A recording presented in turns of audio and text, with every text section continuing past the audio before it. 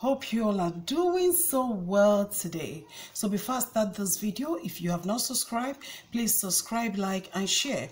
And don't forget to click on the notification bell that will enable you to know whenever I upload a new video. So today, I want to talk to us about something very important. And that thing is, mind your business. Yes, people who are not willing to help you in your future are the ones that that that are always talking about something that does not even concern or matter to them. You see someone, they'll ask you, oh, are you, um, when are you getting married? When are you having children? When are you starting this? When are you starting that? If you see me look down, it's because I wrote them down. For crying out loud, all those things is none of your business. If I may even ask, who raised you? Because if you are raised properly, not from the zoo, there are some things you shouldn't ask someone. You see someone, oh, look at her, she's, this one she's waking up by this time. Is it your business? This one she's looking like this. Who knows who is doing this for her? Who is doing It's none of your business. Who is doing doing whatever thing you feel someone is doing for her is none of your business, okay? You have so many opinions about someone you are not even paying his or her bills. It is not right. Okay? It is not right. It is better.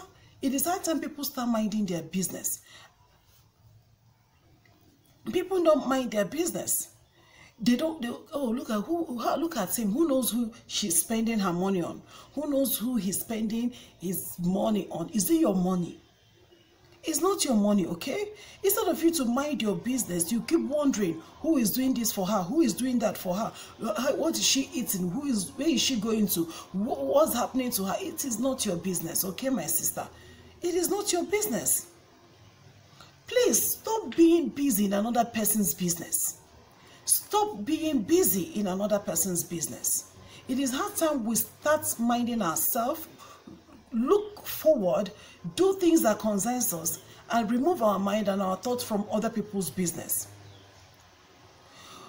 God cannot put you in a position of leadership if you cannot control your mouth or if you keep putting your mouth where you're not supposed to put it. If you keep saying things that you're not supposed to say if you keep doing things that you're not supposed to do it is hard time we start minding our business.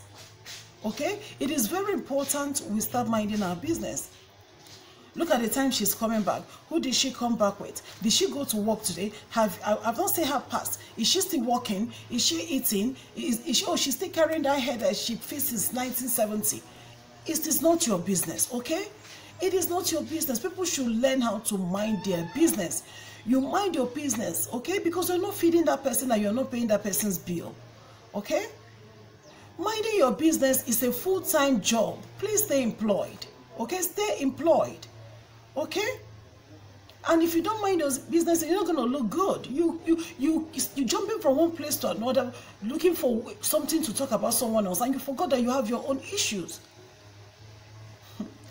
So guys i'll be stopping here today. You just take good care of yourself and have a beautiful and a lovely day. Bye